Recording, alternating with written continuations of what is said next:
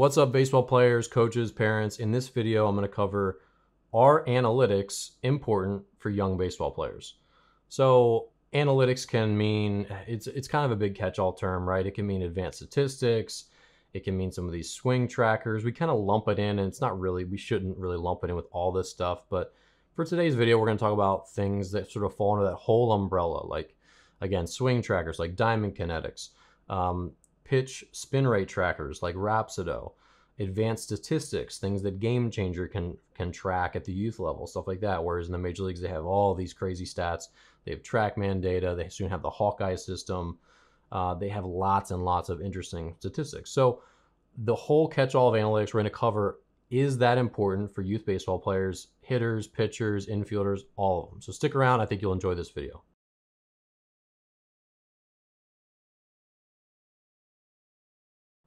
So let's go over the good things first, and then we'll cover some of the things that I think are negative or just are kind of a waste of time and aren't probably worth paying for and really spending that much time on. So, number one, for the analytics and all that stuff, the high tech stuff, if it builds excitement and it gets your kid excited about training, and if you're a player, I'm talking to you, and it makes you more apt to throw a bullpen and you want to check your numbers with your velocity and your spin rates and and and track your swing and your launch angle and your attack angle, all that stuff that's fine. If it's motivating you and it's a positive motivation, great. On the other side of that is you can't be constantly expected to trend upward. Nothing is is completely linear in baseball. Like you're not going to gain one tenth of a mile per hour as a pitcher every day forever, right? Your velocity is going to fluctuate a lot until it starts to normalize when you're older. Um, in the weight room, you're not going to consistently add weight to the bar every week. If you did, you'd be like the strongest human of all kind after like a year of lifting, right? So even really small amounts of of gains for strength training, for your exit velocity as a hitter, or your pitching velocity as a pitcher, they're going to still undulate. They're still going to go up and they're going to go down, but hopefully trend in the right direction over time. So you can use this to track, but you cannot become obsessed with it and you cannot let your self esteem get hooked to it. Where if you didn't exceed last week's numbers, you're in despair, you're feeling sad, you're feeling depressed, and now you know it's this constant emotional roller coaster. So do not let that happen. But if it does motivate you and build excitement, great. Here's the other thing. So, number two, don't pay for this stuff under the pretense that it's necessary. It's not necessary. Think of the Dominican uh, Republic players, some of the best in the world. Why are they so good? It's not because they have tons of high tech equipment. They have barely have shoes on their feet. I went down there and I coached an American team. We played against the academies. They were sharing one batting helmet. They were hitting with aluminum bats that had no paint on them because they'd been hit so many times. You hear about American kids complaining that their bat's dead. Their $400 bat is dead after two months, right? Doesn't have any pop anymore. Those kids don't care about that. They just want to go out there and hit and play, and they play really, really well, and they keep getting better. So, all this stuff can be a help, right? If it helps you visualize and understand yourself as a pitcher, as a hitter, great. But it's not necessary. So do not buy into the coach that says, yeah, you got to do this if you want to keep up with everyone else. You know, this is really important. Like, this is what all the best players are doing. It's BS. It can be a, a good tool, it can be a help to you, but it absolutely is not necessary, especially in amateur baseball. This stuff is much more necessary when you're a pro. I mean, you talk about like Justin Verlander, something he did. They made a little tweak, the Astros, with his the way he gripped his four seamer, and they got an extra boost in spin rate, which had a meaningful effect on his swing and miss rate. Those are little tweaks that can help a world class pitcher get a little bit better, a little bit better, but still a meaningful amount better, right? Whereas the youth players, they have so much to gain I personally don't care what the Rapsodo reading uh, is of a 16 year old slider. Like I can play catch with him as a coach and I can tell him which of the 10 sliders he threw me were better and I can reinforce his arm position, his mechanics and help him understand which one was better without having to go to the readout and say, okay, that one was 1632 RPMs. Your best today was 1664 RPMs. It's not really that relevant at young ages. It's still interesting information and it can be useful but it's not necessary information. It just depends how you're training, how hard you're working, and just remember some of the best players in the world, especially at young ages. I mean, you see Dominican players who are 10, 11 years old, they're incredible.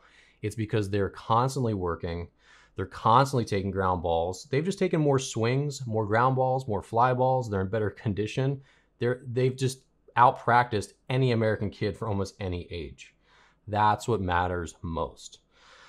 Lastly, I just want you to think about what's good for you long term uh, as far as like can finding your path in baseball. So whether you're a hitter, whether you're a pitcher, whether you're a catcher, the high tech stuff can be useful. Like we've covered that a bunch. You know, learning the different stats I think are helpful. One example is um, first pitch strikes. That doesn't seem like a very advanced stat, but for a lot of players, it kind of is. Like, can you use Game Changer to break down what your regular strike percentage thrown as a pitcher is? To say it's 70%, but then maybe your first pitch strike percentage is 62%. That tells us that there's a mismatch because your strike percentage should be essentially the same over all counts, plus or minus little fluctuations, right? And so if there's a big disparity, so little Johnny throws 62% first pitch strikes, but he usually throws 70% strikes as a whole that's something that as a coach you can say, okay, hey, is there a mindset thing? Are you a little bit nervous to just get ahead in the count early? Are you trying to be too fine? Are you afraid they're going to ambush you and beat you on the first pitch? Like, what can we do about that? Uh, I think using stats at a young age is good to make important judgments about players' mindsets, situations they excel in, situations that they don't excel in, and ways that we can find to help them get better. So I think beyond using just swing trackers and just and spin rate data measurement tools like Rapsodo, um, which are really cool and they're really interesting and useful tools.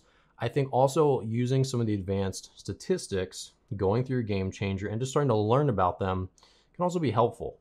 But again, it's still not the end all be all. The, the end all be all for youth baseball is having fun, developing a good work ethic, developing the mindset that helps you deal with the incredible ups and downs and slumps of baseball, which is the biggest thing that's going to weed players out. And then also really learning what it takes to to grind and I don't like overusing that word, but just to grind through a season and consistently be good. You don't have to be great, you don't have to be amazing.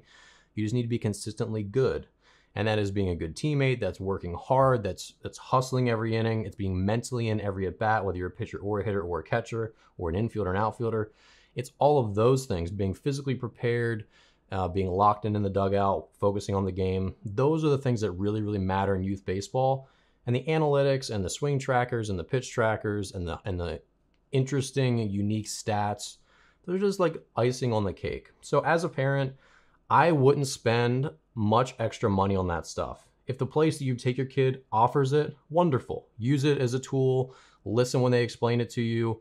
You know, take it with a grain of salt. And also just learn about the way ga- the, the game is changing because having some knowledge of all these new tools and the analytics and the stats is important. It's where the game's going, so you don't want to be naive to it. But at the same time, remember that if anyone's trying to say this is the new way, think of the of the kids from developing nations like the Dominican, like Venezuela, like Aruba. There's some amazing players coming up from those countries as they have been for years and decades or decades now. Decades or years. Um, for a long time, players have been coming up from those nations where they don't have the wealth and they don't have the high tech, but they're still passionate about baseball and they're developing. So again, I just want to impress the biggest message here, which is that it's not necessary, but it is useful to learn, to listen, and to use this stuff if you want to. But don't break your bank with it. Don't bank your career on it. And don't overuse it. And don't let measurement become this negative thing where, again, if you're constantly tracking, you're going to see your numbers go down before they always go up. They're always going to go up and down. And that can be a big pit of despair for players when you're constantly videoing them, tracking them, and trying to see progress every day, which is unrealistic over time. All right. Thanks for listening. I hope you enjoyed this video and the others on my channel. If you're new here, I have a pitching book. I have another book about my career. It's a memoir, which is an amazing read for any of you who want to know what your kid's going to go through in the long term in baseball. I have online courses for pitching. I have a mental skills course called the Resolute Athlete. So if you're interested in learning more about what I do and what you can learn off the field, check out the description below, and I'll see you in the next video.